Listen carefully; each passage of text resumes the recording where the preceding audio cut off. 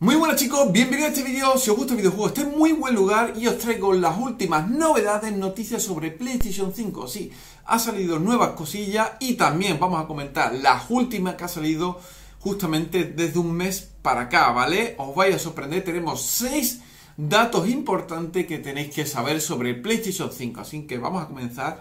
El primer dato que llamó mucho la atención es ese render, esa consola que existe está concretamente las compañías, la oficina de Sony, probando pues la consola, ¿no? De por sí.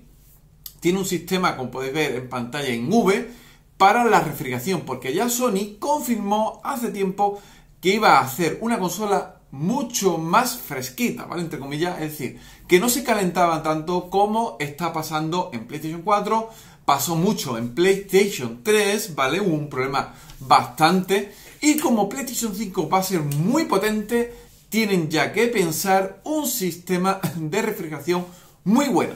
Porque el sistema de ventilación lo tienen que probar y si le funciona muy bien, están probando los juegos de aquí a un año, pues lo llevará más o menos, será muy, muy, muy, muy parecido. Si el sistema no se enfría como tiene que ser, cambiarán pequeñas cosas, si no en otro sistema, ¿vale?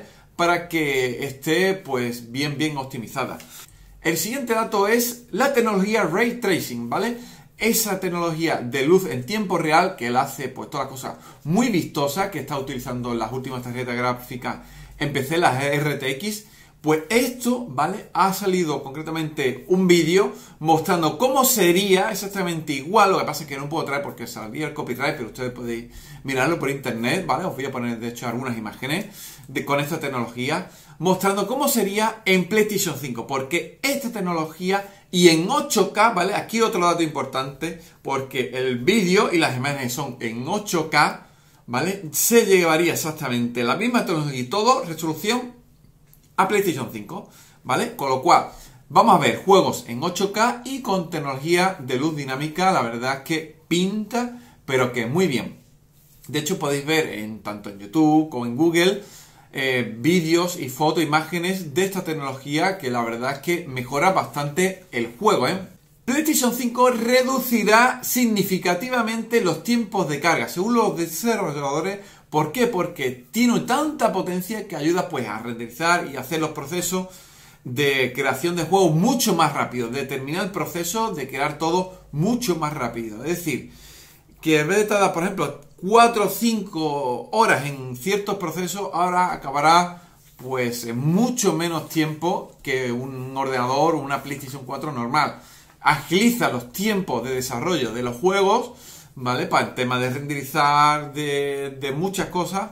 Con lo cual, eso está bien. Un juego, en vez de salir en X meses, ¿vale? En 12, 14 meses, pues ahora se puede hacer en 8, 7 meses, ¿vale? Porque hay mucho proceso de renderizado de trabajo y demás que agiliza concretamente, dicen los desarrolladores, que los tiempos serán significativamente, es decir, se va a notar más corto en los desarrollos de todos los juegos, ¿vale? En forma general.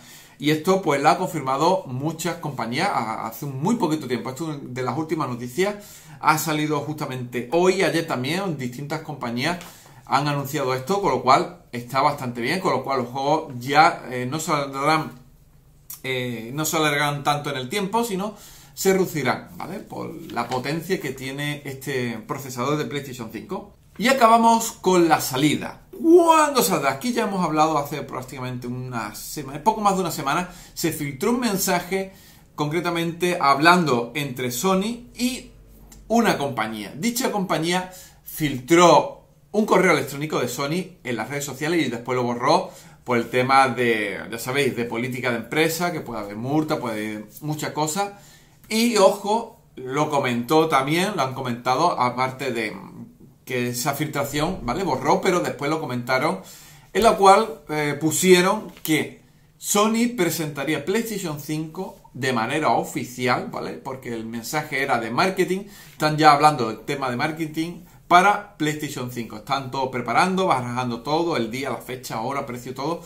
Se mostraría el 12 de febrero de 2020, ¿vale? Concretamente hay una feria de Sony y ya dijo este mismo año que haría un anuncio exclusivo para PlayStation 5. Es decir, se anunciaría en una feria solamente de Sony. Así que ya sabéis que el 12, si no falla esta fuente, esta filtración, estos rumores, que yo doy un 99% mm, de, vamos, de veracidad, con lo cual veremos de aquí a poco tiempo, concretamente ya estamos en septiembre, ya queda poquitos meses para que sea ya febrero y ya pues sabemos todo, ¿no? De precio, fecha, juego, los datos y unos meses después llegará el E3 pues mostrando más cositas porque la próxima generación de consolas llega seguro, seguro, seguro en 2020 con PlayStation 5 y la nueva Xbox. Wii, ya sabéis que la Nintendo con la Wii, la Switch y demás, a eso va a otro mundo. Eso posiblemente el otro año o el otro. Después de la Switch Lite llegará otra revisión de Switch, otro de como la Nintendo. DS, ha tenido DS, DSi, DS Lite, 3DS, un montón, pues igual. Ellos van revisiones por revisiones. No es como PlayStation que va generación por generación, consola que se nota entre una y otra bastante años de diferencia. Bueno chicos, espero que os haya gustado este vídeo, que os haya bastante. Nos vemos en el próximo vídeo. Hasta la próxima.